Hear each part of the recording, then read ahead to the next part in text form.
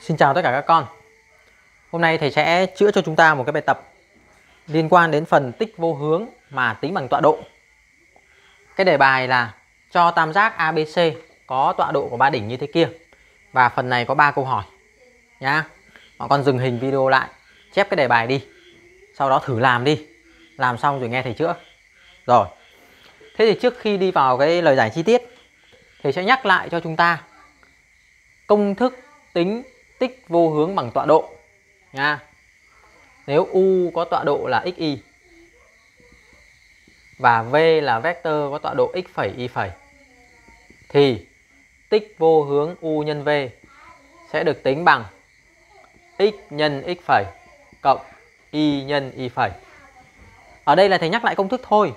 Còn nếu chúng ta muốn học kỹ về phần này thì hãy xem video mà lý thuyết về tích vô hướng bằng tọa độ nhá. Thế độ dài của vector u chúng ta còn nhớ không? Độ dài của vector u thì bằng căn của x bình phương cộng y bình phương. Rồi, cos của hai vector u và v thì theo định nghĩa tích vô hướng chúng ta sẽ suy nó ra đây là gì? Cos thì bằng tích vô hướng chia cho tích độ dài độ dài u nhân với độ dài v. Tích vô hướng thì ta chép vào đây. X nhân x phẩy cộng y nhân y phẩy.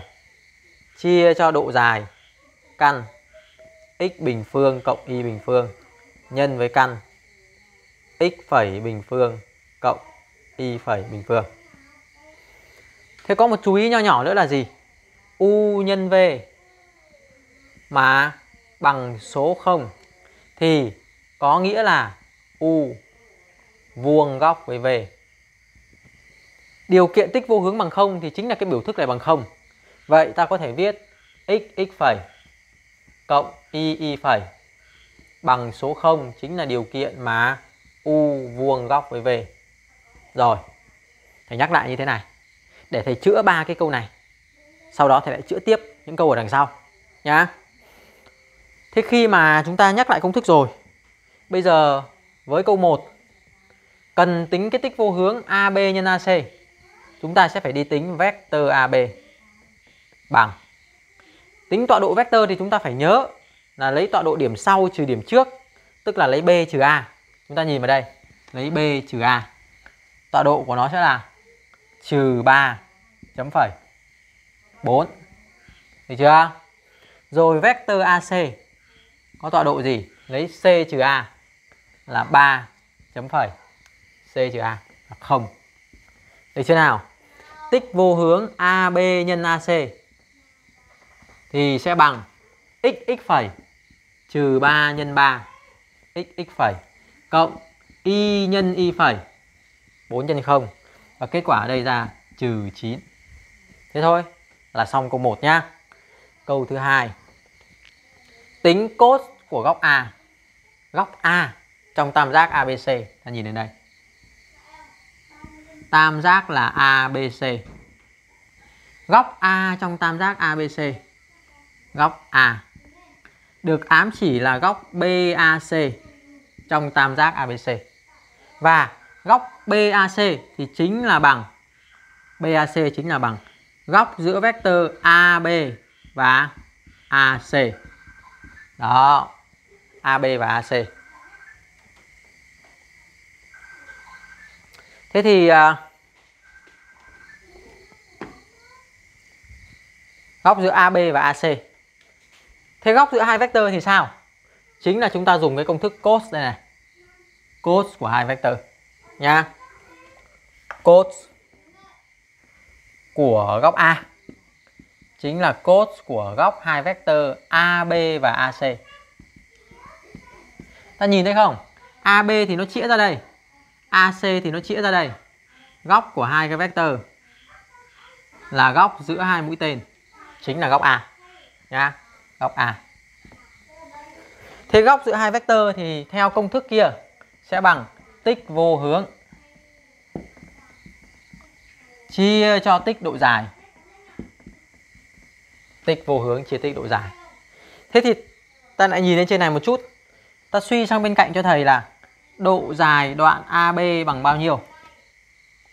Nó chính là căn của x bình cộng y bình. Căn của thì xóa cái này nhá. Xóa nhá. Rồi. Đấy. Căn của trừ 3 bình phương cộng với 4 bình phương là căn của 25. Căn của 25 thì bằng 5. Thế còn AC thì sao? AC đây là căn của 3 bình phương cộng với 0 bình phương, kết quả là căn 9. Căn 9 thì bằng 3. Bây giờ chỉ việc thay công thức vào thôi. Nha. Tích vô hướng thì là trừ 9, mình vừa tính ở câu 1. Chia cho tích độ dài là 5 nhân với 3 và rút gọn đi còn trừ 3 phần 5. Để xong. Được chưa nào? Những cái phần bài tập nho nhỏ mà dễ dễ kiểu này ấy rất hay thì trắc nghiệm. Cho một cái đề bài xong hỏi cos A bằng bao nhiêu. Thế thôi. Thuộc công thức thì làm rất nhanh và khoanh đúng.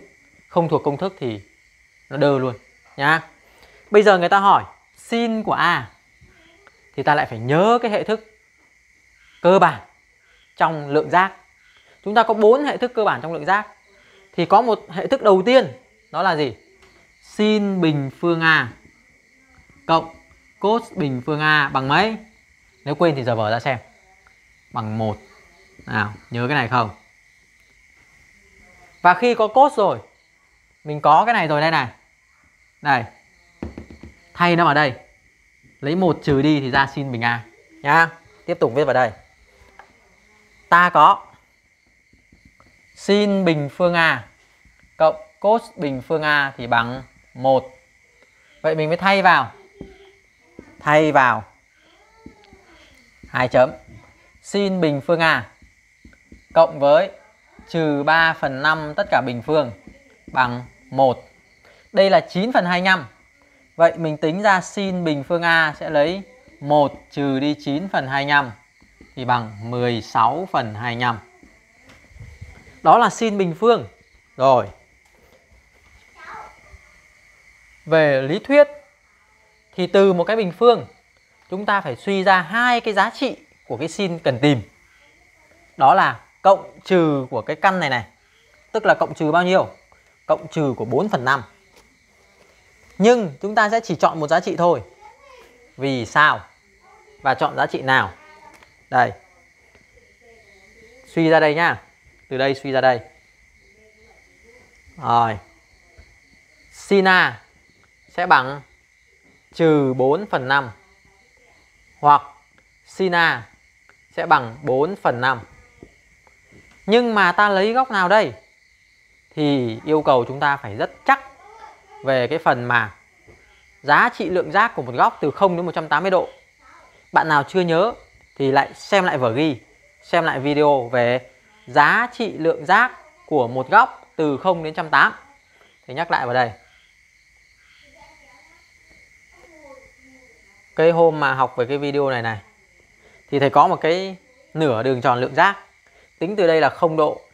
Đi theo chiều này là chiều dương. 1, 2, 3, 4, 50, 60, 70, 80, 90 độ. Chỗ này là 90 độ. 91, 92, 93, 94, 150, 160, 170, 180. 180 độ. Nhớ chưa? Trục đứng này là trục sin. Trục ngang này là trục cos. Muốn tìm sin thì sao? Ta biểu diễn cái góc bởi điểm M là góc alpha. Rồi gióng nó sang trục sin. Thì rơi vào đâu? Đó chính là sin alpha. Còn nhớ không? Nha, bạn nào nhớ thì nghe thầy nói chỗ này rất dễ hiểu. Nhưng mà nếu không nhớ thì thì nghe nó như là không không hiểu thầy đang nói gì nhá. Sin. Thế nếu mà góc nó nằm ở đây thì mình gióng nó sang. Nó vẫn dương. Còn nếu góc nó sang đây, tức là góc nó tù ấy, góc nó như thế này luôn này. Thế nhưng mà khi mình gióng sang trục sin thì nó vẫn rơi vào mấy cái chỗ này thôi. Và sin thì nó luôn luôn dương. Nếu ai mà lại xem lại lý thuyết của cái phần này ấy thì thầy có chú ý là gì? Khi mà không nhỏ hơn hoặc bằng góc alpha, nhỏ hơn hoặc bằng 180 độ thì chúng ta suy ra cái gì ở đây? Sin alpha luôn lớn hơn bằng không trong vở ghi nó có cái này nhá. tức là một tam giác trong hình học. Thì sin của nó là không âm. À tam giác à? Thầy nói tam giác đúng không? Tam giác thì sin của nó phải dương. Cái sin mà bằng không được ấy là chỉ khi nó là không hoặc là trăm tám thôi nhá. Trường mà nó đặc biệt thì nó lại không phải là tam giác rồi. Thế thì, thì kết luận vào đây. Tam giác ABC thì luôn có sin góc A là nó dương. Sin góc B là nó dương và sin góc C, nó cũng dương.